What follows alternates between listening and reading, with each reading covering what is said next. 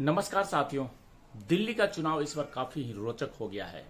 जब से कन्हैया कुमार ने एंट्री मारी है दिल्ली के चुनाव में और कांग्रेस ने जब से उम्मीदवार बनाया है, उसके बाद से ही सरगर्मी तेज हो गई है और दिल्ली की जनता इस बार किसको चुनती है, ये बड़ा सवाल हो गया है। हर तरफ़ ये चर्चा का विषय है कि क्या मनोज तिवारी इस बार पूर्वी दिल्ली से हैट्रिक लगा पाएँगे या उनकी पारी यही समाप्त हो जाएगी।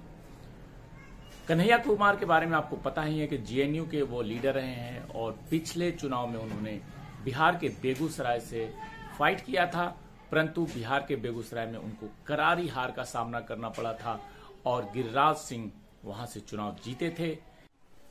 दिल्ली में कांग्रेस को जब उम्मीदवार नहीं मिले तो इन्होंने फिर से एक बार बिहार की तरफ़ रुख किया और बिहार से कन्हैया कुमार को लड़ाने का फैसला किया और वो भी मनोज तिवारी के सामने। लेकिन इन्होंने इसलिए कांग्रेस ने ऐसा किया क्योंकि कन्हैया कुमार भी बिहार के पूर्वांचल से आते हैं और मनोज तिवारी भाजपा के सांसद हैं। तो भाजपा को चुनौती देने के लिए कांग्रेस ने ये नया चाल चला, लेकिन क्या ये चाल सफल होगा? और मनोज तिवारी ने जो पिछले दस साल में अपने संसदीय क्षेत्र में काम किया है, उसको लेकर के जनता क्या सोचती है? जनता क्या इनाम देगी? ये बड़ा सवाल खड़ा किया गया है।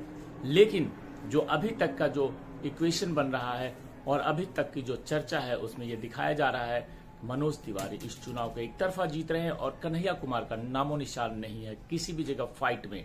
यहाँ तक कि उनकी सभाओं में भीड़ तक नहीं हो रही है, जबकि दूसरी तरफ़ मनोज तिवारी लगातार